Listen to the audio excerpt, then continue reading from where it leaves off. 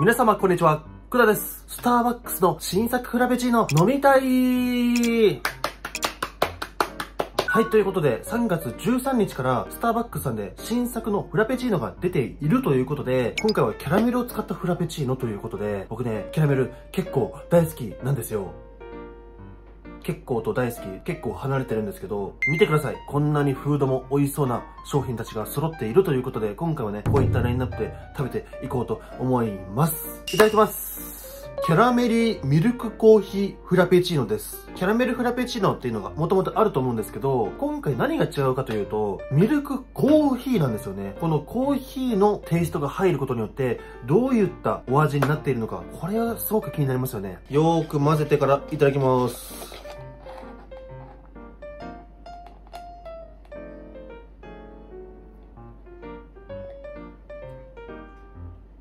うまっキャラメルの甘さとコーヒーの香りがめちゃくちゃ合う。そして飲みやすい。ミルクコーヒーということで結構ね、ミルク感も強いんですけど、ホイップクリームも入ってるから、マシマシっていう感じで、めっちゃ美味しいな、これ。うん。公式の説明も読んでみますか。程よいコーヒーの風味とクリーミーさにキャラメリーで濃厚な味わいが楽しめるフラペチーノ。うんうんうん。フレッシュクリームとホワイトチョコレート風味のシロップ。こちらをね、カップの底に入れて、コクのある濃厚な味わいに仕上げた層に、コーヒーとミルク、ホワイトチョコとバニラ風味を合わせたフラペチーノを注ぎました。カップの周りにはエスプレッソショットの香りをつけたバタースコッチソース。えー、こちらをまとわせ、トッピングには甘くてクリーミーなコーヒー風味のホイップクリームを乗せています。思った以上にすごく豪華なフラペチーノですね、これ。美味しさの秘訣が全部わかりましたね。うん。超おすすめです。では、食事もいただいていこうと思います。米粉の抹茶ロールケーキです。スタバ買いに行ったらね、抹茶系のフードが結構多くて、まだね、抹茶シーズン続いてたんだということで、今日買えた抹茶シリーズ全種類揃えてます。これもね、前食べてめちゃくちゃ美味しかったんですよね。こんな感じです。いただきます。うーん抹茶感強前食べた時よりも抹茶感が増してる気がする。うまっ。米粉だからね、もちっと感もあったりして、香りもめちゃくちゃいいですね、これ。うん。食べるのがね、難しいのか、下手なのか、倒れそう、倒れそう、倒れないで、お願い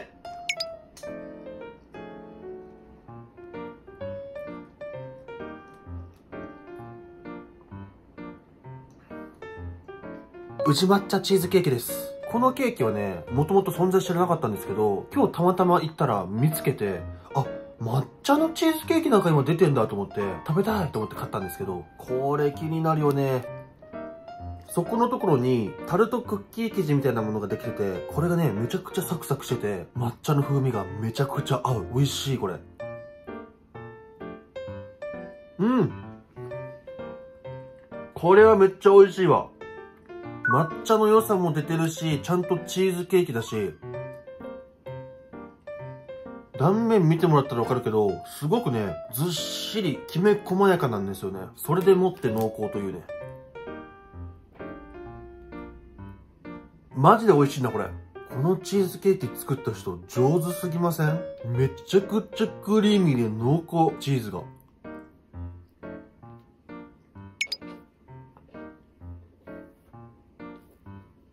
もうないもん、ほら。とっても飲みやすいぞ、これ。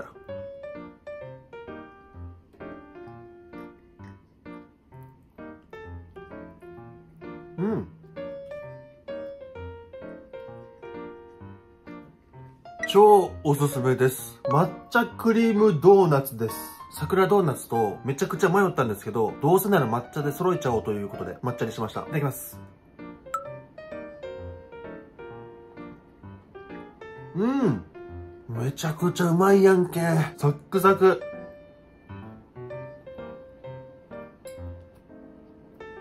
中にね、抹茶クリームが入ってるんですよね。これが本当に美味しい。うん。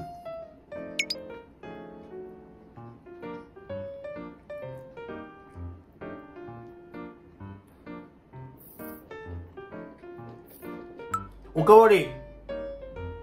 チキンチーズホット。トルティーヤです。上から見てどうこれ。めちゃくちゃ美味しそうじゃないこれね、温めて焼いちゃったら絶対美味しいと思う。これと、ダブルハムマリボーチーズ石窯フィローネです。ハムとチーズがダブルになってるんですよ。これ絶対美味しくない？ One, two, three。おー。チーズが2枚入ってます。そしてハムも2枚確実に入ってますね。めっちゃ美味しそう。チョコレートデニッシュです。これもね、見たことあるんですけど、過去に1回食べたことあるかな今からね、焼いていこうと思います。久しぶりの、久しぶりの、電子レンジ、電子レンジ、電子レンジじゃなくてオーブントースター ということで、特に初期から見てくれている人は何が起こるかこれからわかると思います。オーブントースタータイムのお時間です。こいつのね、特等席っていうのがあるんですよ。ここに置きます。電子レンジでちょっとね、温めたんですよ。チーズがトロンとなってるでしょこれを中に入れてカリッと仕上げていくんですよね。オープン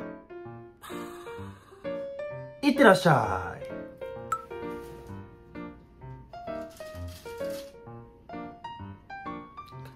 焼いてもらってる最中にこちら、宇治抹茶ホワイトチョコスコーンです。多分動画で食べるの5回目か6回目とか、超食べてますよね。美味しいんですよ、この抹茶のスコーン。いただきますね。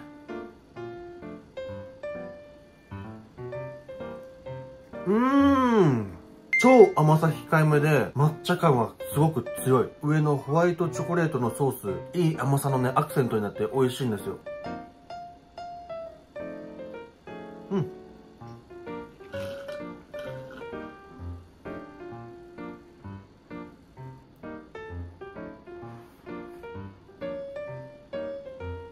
中にはね、ホワイトチョコレートチャンクが入ってて、このチャンクのね、コリコリっとした食感が美味しいっていうか、個人的に好き。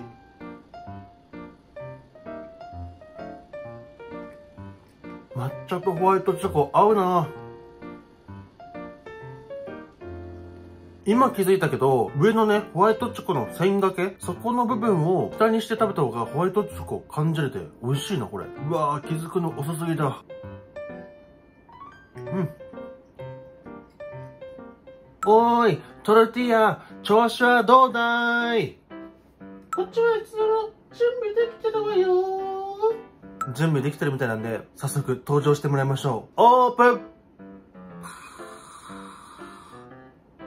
これのせいで大事な登場シーンが見えないじゃないか。トルティーヤの姉さん。あいよー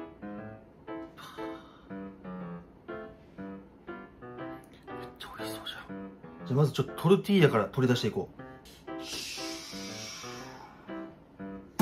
チーズがドロンとなってる。めっちゃ美味しそう。というか今ふと思ったんですけど、僕ね、眉毛染めたんですよ。脱色クリームで、薬局で買える。なんなんこれもう。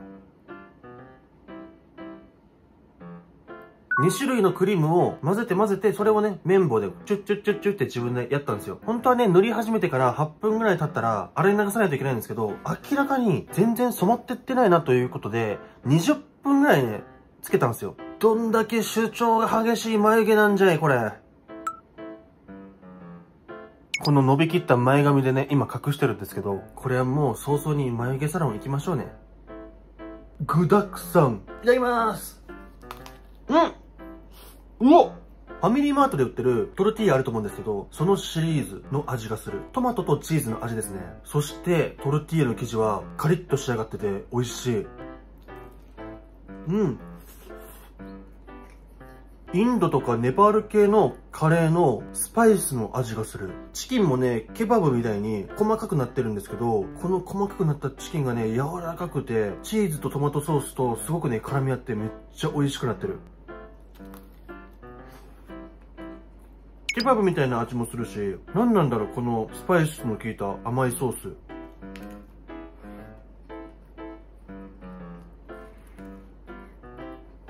めちゃんこうまいぞ。具沢山でね、食べ応え結構ある。うん。鶏肉だからヘルシーだし、これめっちゃいいね。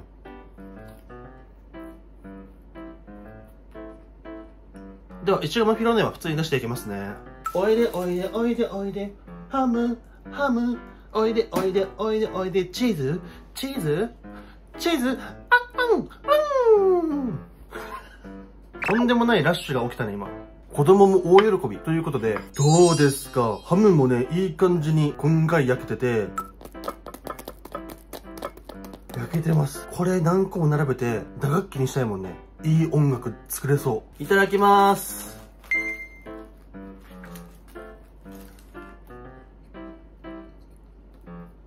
うまっチーズ感ムシムシ。うん。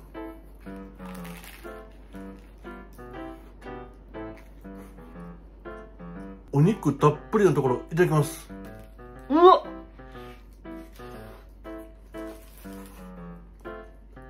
折りたたんでることもあって、見た感じハムが12枚ぐらい重なってるんですけど、ハムのミルフィーユみたいに、ドロドロドロドロって、そういう感じの食感で、これめっちゃ幸せ。うん。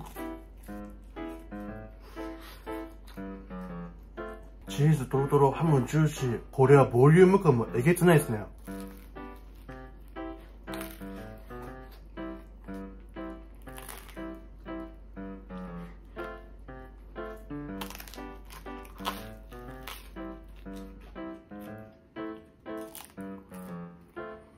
うん。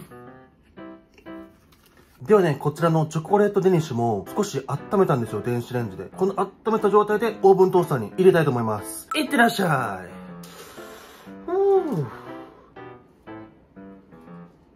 あっち。チョコレートデニッシュ担当のチャーリーさん。私がチャーリーだ。何か用か？あ、いやですね。先ほどお願いしていたチョコレートデニッシュいただきたいと思ったんですけど。なんだよ。さっきのやつか。そうだったら最初からそう言えばいいだろう。すいませんでした。チョコレートのいい香りがしてます。めちゃくちゃ美味しそうじゃない？うん。あ、結構チョコレートビターな感じで大人ですね。さすがチャーリー。分かってるね。デニッシュパンとパイ生地のちょうど真ん中ぐらいの感じで、ほろ苦いこのチョコレートがとろっと溶けてて、この食感の違いがね、めちゃくちゃいい。美味しい。うん。やっぱりチョコレート系のフードを食べるとコーヒーが飲みたくなりますね。これ絶対合うだろうな。ではラスト。あ、うん。うわ、最後までめっちゃ美味しかったな。ごちそうさまでした。本日の第1位は、キャラメリーミルクコーヒーフラペチーノ甘いのがある程度好きな人で、キャラメルが好きな人、そういった方にすごくね、おすすめのフラペチーノなんじゃないかなと思いました。よかったら参考にして飲んでみてください。本日もご視聴いただき、ありがとうございました。高評価とチャンネル登録、よろしくお願いします。バイバイ。